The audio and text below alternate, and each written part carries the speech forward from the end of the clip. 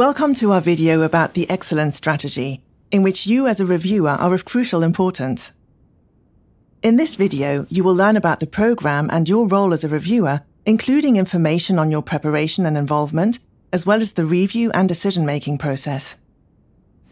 As a program with an overall budget of 14 billion euros for the initial 14 years, the Excellence Strategy is designed to fund cutting-edge research at German universities, enhance research profiles, encourage cooperation, and facilitate networking.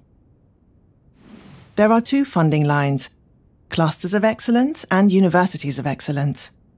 The clusters support project based funding in internationally competitive research areas at a university or university consortium.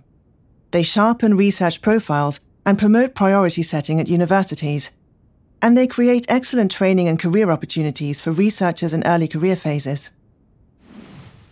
New clusters of excellence are evaluated in a two stage process, with a draft proposal phase with concepts for new clusters and a proposal phase with the fully developed applications.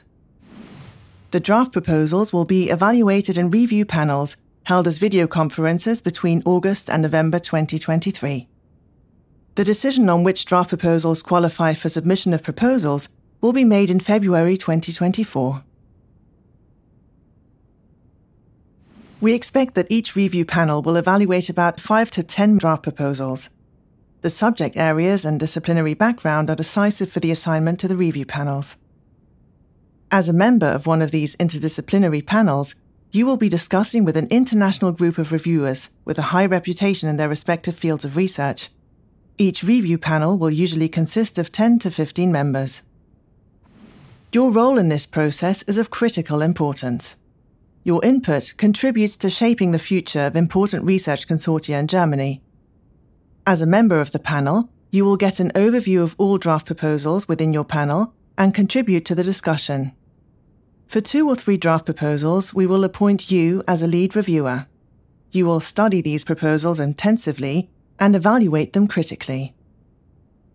In a 30 minute discussion, you and the other reviewers will also have the opportunity to discuss your questions on the draft proposals with the group of applicants. For the review panel, you will have to prepare the following. Carefully read the guidelines and review criteria. Read the proposals for which you have the role as a lead reviewer. Write a preliminary statement on these proposals, highlighting the strengths and weaknesses. Think about the questions you would like to address to the applicant and get an overview of all other proposals to be discussed in the meeting.